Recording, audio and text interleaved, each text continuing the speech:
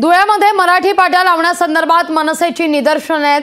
पाट्या न लावल्यास आंदोलनाचा इशारा सुद्धा देण्यात येतोय. मनसे स्टाईल आंदोलन करण्याचा कार्यकर्त्यांकडून इशारा आहे. मनसेकडून धुळे मनपा आयुक्तांना निवेदन आहे. मराठी पाट्यांच्या प्रश्नावर मनसे पुन्हा आक्रमक झाली आहे.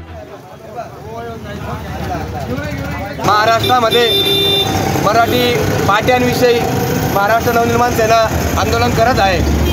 त्याच अनुषंगाने जर आपला व्यवसाय हा महाराष्ट्रात असेल.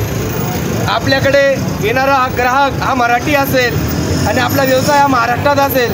तर आपल्या दुकानाचे जे फलक जे आहेत हे सुद्धा मराठीतूनच पाहिजे. इतर कुठल्या भाषेत पाहिजे नाही. हा आग्रह पहिलेपासून महाराष्ट्र नवनिर्माण सेनेने धरलेला आहे. लोकशाही मराठी. ऐका पहा जागरूक रहा.